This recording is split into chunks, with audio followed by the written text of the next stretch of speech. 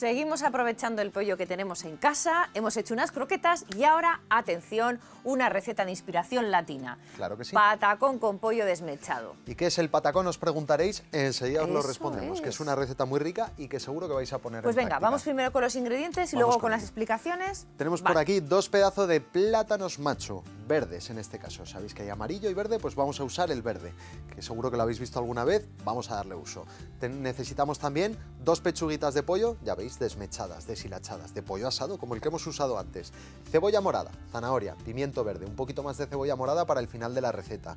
Jengibre, chile fresco y salsa de tomate frito casera. Y luego unos cherries también para rematar. Así de fácil y así de sencillo. Oye, muy poquitos ingredientes, pero oye, con muchas explicaciones detrás de cada cosa, ¿eh? Vamos con Seguro, ello. vamos, vamos con, por ejemplo, con el patacón. Lo primero es el patacón. ¿Qué es el patacón? Es una receta hecha a base de plátano macho, Macho. en este caso verde. Y es algo parecido a una patata brava, solo que va pisado, porque se llama patacón pisado además. Y de hecho hay unos instrumentos que se llaman pataconeras. ¿eh? Eso es. que son de madera y son una especie de prensa. Y lo Sí. que hacen es dejar el, bueno, dejar el plátano macho prácticamente como un folio, ¿eh? Nosotros no tenemos pataconera, Pero ya lo veréis, ya pero veréis. nos vamos a fabricar una rápidamente. Tenemos que pelar el plátano. Sí. Al ser un plátano verde, cuesta un poquito de pelar y entonces no se pela como los plátanos dulces que conocemos los nuestros de toda la vida.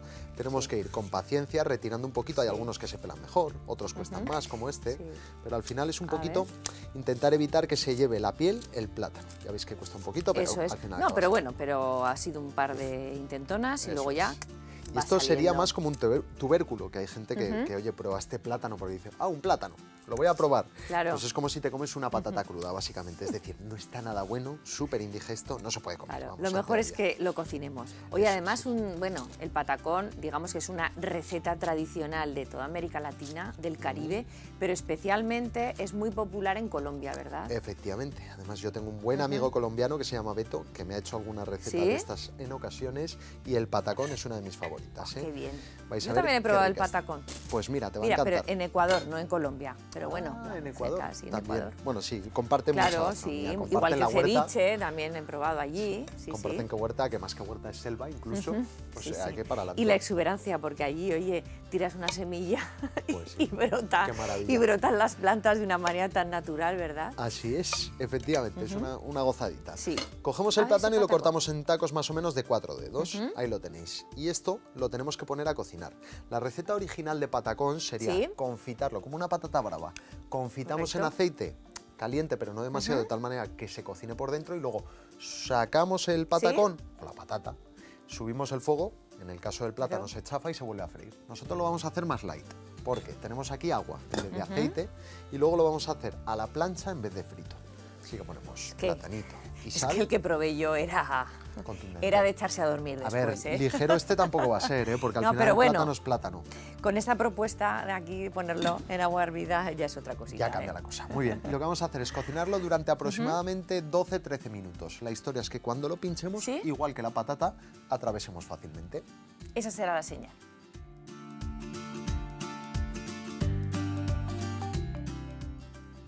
Ya tenemos el plátano macho cocido.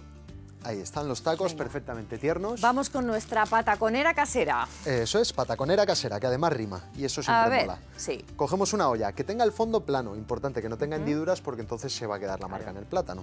Muy bien. Y golpe seco. Entre dos papeles de horno, por supuesto, que también podéis hacerlo con bolsas de plástico alimentarias, por supuesto. Y lo que hacemos es eso, chafar. A ver cómo queda. Cuanto más lo chafemos, más crujiente. Si es de guarnición, mola mucho que esté crujiente, pero como aquí lo vamos a usar en plan tortita, no lo vamos a chafar demasiado Claro, para que tenga un poco de mantecosidad. Y porque tiene que tener un poquito de consistencia. Claro. Si no le pones cosas y claro, se quiebra. Y aquí viene la gran diferencia. Ajá. Habitualmente se fríe en abundante aceite, como hemos hecho, por ejemplo, con las croquetas. sí. Pero nosotros lo vamos a hacer a la plancha. Cogemos Oye, qué bien. el papel de horno, se despega de maravilla. Ahí está, con delicadeza. Sí. Y lo ponemos en una sartén con un poquito de aceite de oliva. O Perfecto. sea, un poco es el efecto tortita. Sí, sí, esto va a ser la base. Es una tapita, ¿eh? Sí, Igual que la croqueta, es una tapa Oye, esto que bien, estamos sí, haciendo. Ración mini, Tapa de aprovechamiento. completamente. Por aquí, mientras tanto, está cocinado el pollo, con lo cual lo que vamos a hacer es dar un breve salteado a las verduras, que van a ser pimiento verde, zanahoria y cebolla morada, pero nada, muy, breve. ¿eh? Queremos que tengan toquecito crujiente y crudo. y por aquí jengibre. A ver, a ver, a ver. Nuestro jengibre. Toquecito de jengibre que vamos a poner aquí en la parte libre para que se tueste un pelín de nada. Golpecico y ahí cae. Ahí. Que se tueste un poquito por ahí, Que será muy rápido porque le pasa como al ajo, ¿eh?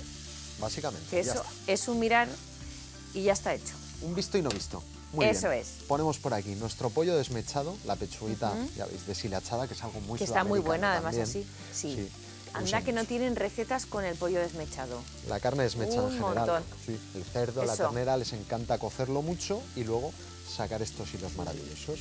Y aquí en más de una ocasión hemos hecho carne desmechada. Sí, yo también soy muy fan. La cocina sudamericana me encanta.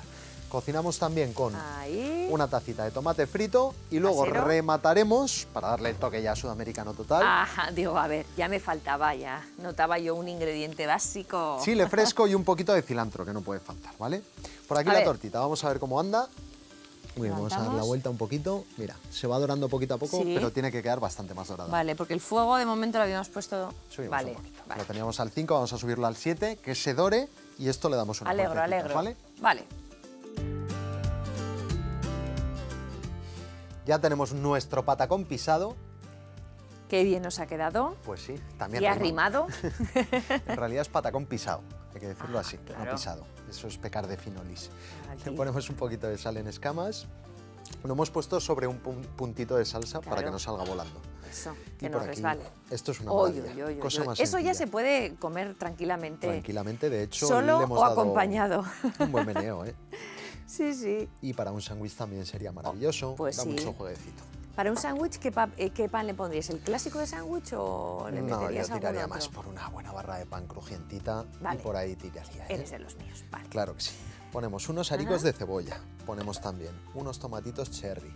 Que le dan el toque fresco. Claro, estamos haciendo una tapa y las tapas siempre tienen que entrar por la vista. Esto es así. Ponemos unos anillitas de chile fresco, esto es al gusto. Sí. Ya sabéis que será muy sandunguero el picor porque ahí el chile va crudo.